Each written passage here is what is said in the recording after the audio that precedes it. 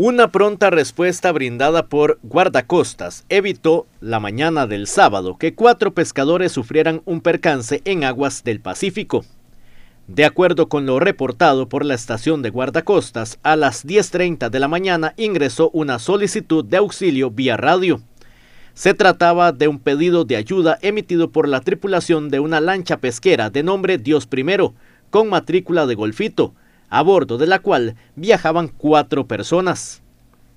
Es por eso que de inmediato una lancha interceptora zarpó de la citada estación de guardacostas, logrando llegar al mediodía hasta el punto donde se encontraban los náufragos.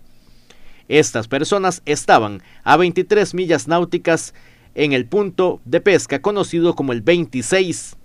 Según lo manifestado por los pescadores, la embarcación Dios Primero quedó a la deriva debido a problemas presentados con la batería después de usar las bombas de achique, ya que el casco de la nave tenía una filtración. Una vez que se quedaron sin batería, tampoco pudieron arrancar el motor, lo que ocasionó que se quedaran a la deriva. Eh, el problema que tuvimos fue que nos quedamos parados por falta de batería, por estar achicando ahí la... Tenemos un problemita en el casco, anda haciendo mucha agua y por ese motivo tenemos que estar constantemente con la bomba y esas fueron las razones el motivo de quedarnos parados.